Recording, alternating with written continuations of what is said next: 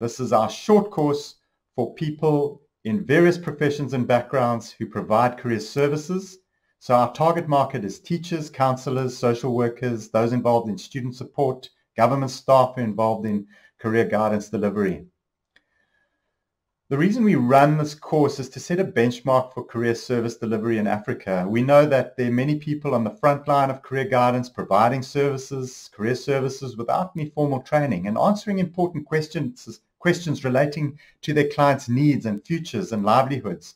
Questions like, what's the best place to study? Where can I get a job? What's the future of work in the fourth industrial revolution? Where can I get funding for my studies? What subjects do I need at school?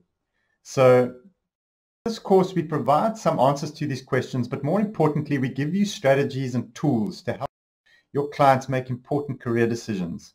Part of the solution in aligning the skills requirements and in developing an effective human resource strategy for a country is accurate career information and effective career guidance. We recognize that in developing countries, there's no smooth career path from school into university or college and then into a comfortable job and retirement so career guidance is positioning itself to play a critical role in addressing human resource development needs of countries in Africa. And this course has a small role to play in achieving that vision.